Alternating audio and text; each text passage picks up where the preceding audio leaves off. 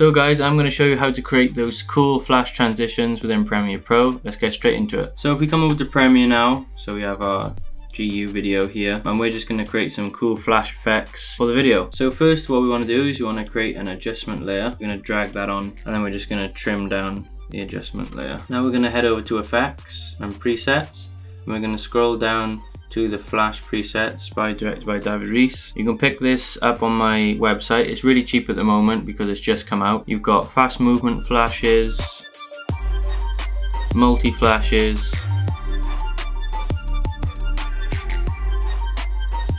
slow flashes, simple flashes, left and right flashes, and double flashes. So it's got loads of different presets in there you can choose from. Really good to use for your music videos. So we're just gonna come over to effects, fast movement flashes, and we're gonna pick number four for this one. So now what we're gonna do is we're going to come over to effects controls and we're gonna press the down arrow on these effects. We're then going to highlight our keyframes and we're then going to scroll to where we want the effect to start. And then we're going to drag our flash like this. And now we should have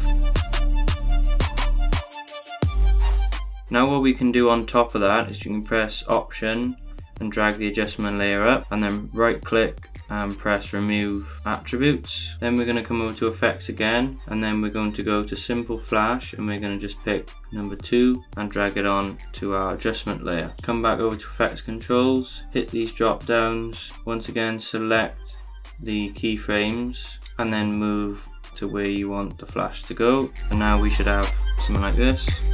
So that's like a fast movement flash that you can create. It's literally two steps. You can be as creative as you want. You can change the transitions if you want to. So now I'm going to show you how to create a multi-flash. So now we want to come over to effects and then we want to come to multi-flashes, drag on number six, come over to effects controls, hit all the arrow keys again and then want to select our keyframes.